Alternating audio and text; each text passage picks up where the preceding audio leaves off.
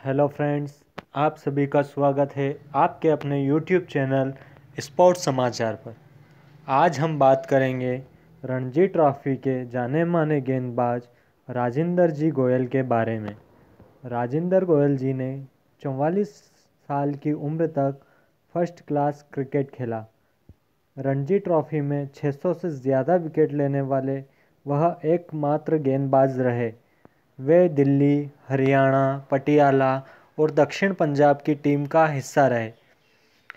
हरियाणा के राजेंद्र गोयल जी ने एक सौ सत्तावन फ़र्स्ट क्लास मैच में 750 विकेट लिए।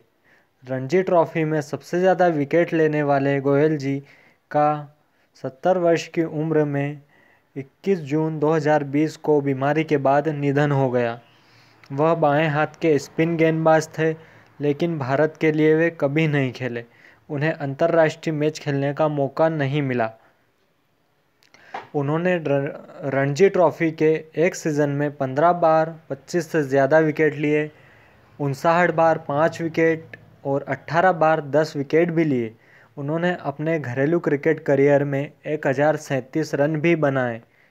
वह भारत के महान स्पिनर थे, लेकिन उन्हें कभी भारतीय टीम में खेलने का मौका नहीं मिला। यह उनके साथ अन्याय था। इनका जन्म 20 सितंबर 1942 को हरियाणा में हुआ था। ऐसे ही स्पोर्ट्स से जुड़ी जानकारी के लिए प्लीज़ मेरे चैनल को लाइक एंड सब्सक्राइब कीजिए। Thank you very much. जय हिंद, जय भारत दोस्तों।